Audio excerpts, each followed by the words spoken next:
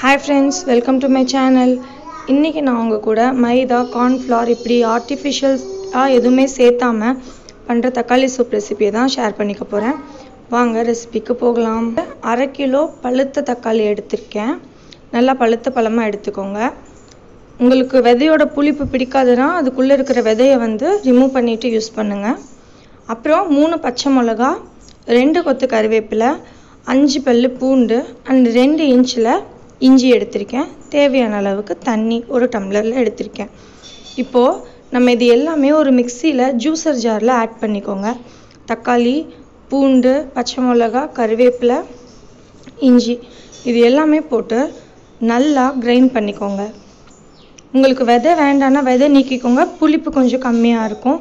And இந்த ulcer problem இருக்கிறவங்க kidney stone இருக்கிறவங்க தக்காளியோட விதையை நீக்கிட்டு சாப்பிட்றது எப்போவுமே நல்லது. நல்லா பேஸ்ட் மாதிரி அரைச்சிக்கோங்க. தேவைப்பட்டுச்சுன்னா தண்ணி சேர்த்து நீங்கள் அரைச்சிக்கலாம். அப்புறம் ஒரு வடிகட்டி எடுத்து இதை நல்லா வடிகட்டிக்கோங்க.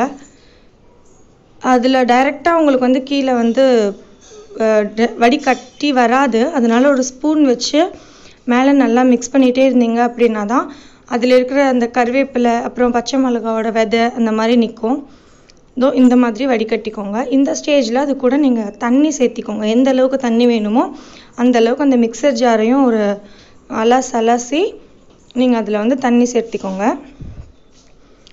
தண்ணி சேர்த்துட்டு எகெயின் அதே மாதிரி ஸ்பூன் வச்சு ஸ்டிர் பண்ணிகிட்டே இருந்தீங்க அப்படின்னா நமக்கு வந்து தக்காளி பியூரி மாதிரி கிடைக்கும். இது வந்து அஹ்மத் பண்ணுறேன்னு சொல்லி பண்ணது. அவனை வச்சுட்டு வீடியோ எடுக்கிறதுக்குள்ளே படாத பாடு ஆயிடுது ஸோ இந்த மாதிரி உங்களுக்கு பியூரி கிடைக்கும். அப்புறம் ஒரு பேனை ஹீட் பண்ணிக்கோங்க.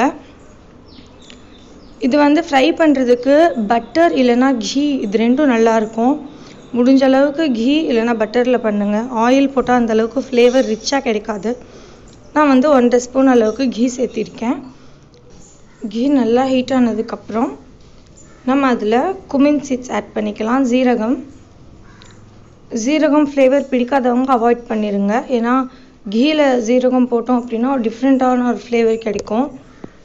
அந்த ஸ்மெல் பிடிக்கலன்னா நீங்கள் ஜீரகம் வந்து அவாய்ட் பண்ணிடுங்க நான் வந்து ஜீரகம் அப்புறம் மிளகு சேர்த்திருக்கேன். அப்புறம் பெருங்காயத்தூள். கட்டி பெருங்காயம் இருந்துச்சுனாலும் அதை இடித்து போடுங்க.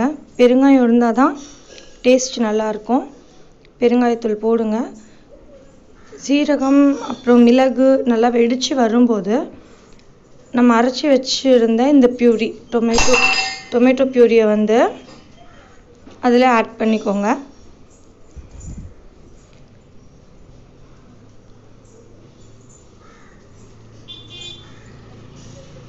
ஆட் பண்ணிவிட்டு நல்லா மிக்ஸ் பண்ணிவிட்டு ஒரு மிதமான சூட்டில் ஹை ஃப்ளேமும் இல்லாமல் சிம்லேயும் இல்லாமல் நார்மல் ஹீட்டில் க்ளோஸ் பண்ணி ஒரு பத்து நிமிஷம் போல் மூடி வச்சிருங்க. அப்போ தான் அது கொதிச்சு நமக்கு வேணுன்ற திக்கான கன்சிஸ்டன்சி சூப் பதத்தில் வரும்.